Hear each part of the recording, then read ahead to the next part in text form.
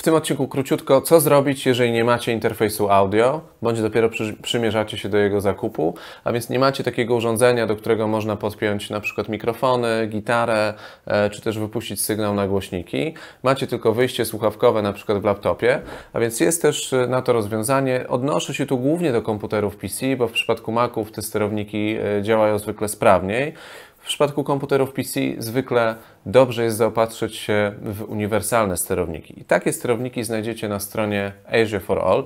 Ja już je zainstalowałem, w opisie podam link do tych sterowników, a więc w miejsce sterowników właśnie moich Azure Fire, Fireface USB e, teraz wykorzystam sterowniki Azure for All w wersji drugiej.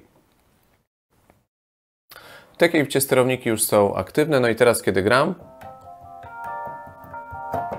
Dźwięk pojawia się w głośnikach wbudowanych e, w tego mojego laptopa.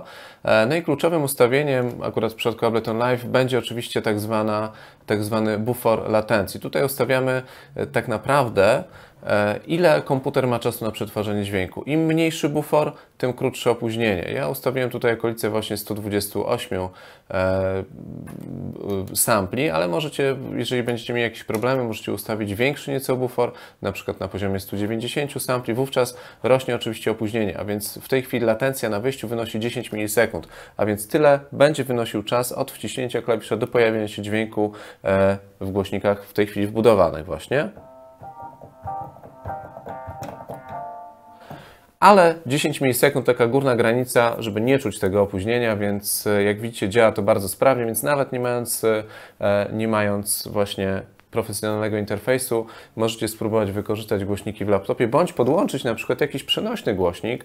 Bardzo wiele z nich, tak jak na przykład ten e, JBL Charge 3, ma wejście na małego jacka, więc ja podłączam w tej chwili kablem ten mój interfejs, uruchamiam ten głośnik, I zwróćcie uwagę, teraz będę mógł już grać. Mogę nawet zrobić głośniej.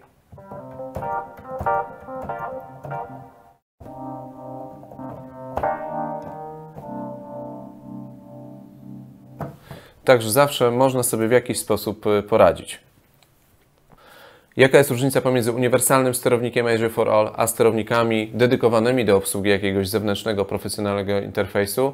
Zwykle w efektywności, bo zwróćcie uwagę, żeby uzyskać opóźnienie na poziomie około e, właśnie 7 milisekund, muszę zejść z buforem do 128 sampli, a więc wówczas mój komputer będzie znacznie bardziej obciążany. Zwróćcie uwagę, kiedy teraz wcisnę kilka klawiszy, obciążenie wynosi 7%.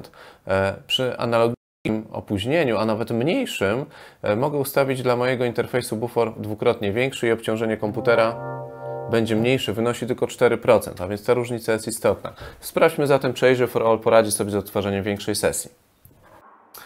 Na początek e, profesjonalny interfejs Fireface UC. Sprawdźmy.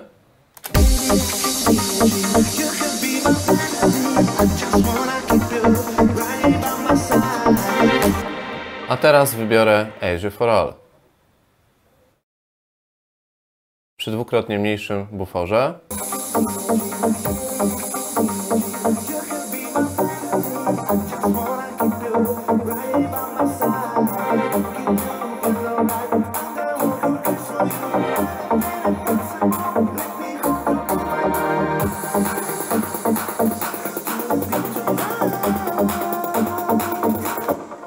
Tak jak widzieliście, bardzo skomplikowana sesja. Ona jest przedmiotem mojego flagowego kursu Mixu. To jest ponad 50 śladów, bardzo szczegółowy kurs, zaawansowane techniki, cała fura pluginów, a sterowniki Azure for All poradziły sobie z odtwarzaniem tej sesji. Zatem odpowiedź jest taka. W przypadku nowoczesnych laptopów e, z mocnym procesorem, sterowniki Azure for All poradzą sobie z przetwarzaniem nawet dużych sesji i z wykorzystaniem pokładowych wbudowanych interfejsów audio, a więc możecie podłączyć do swojego laptopa słuchawki i spróbować swoich sił.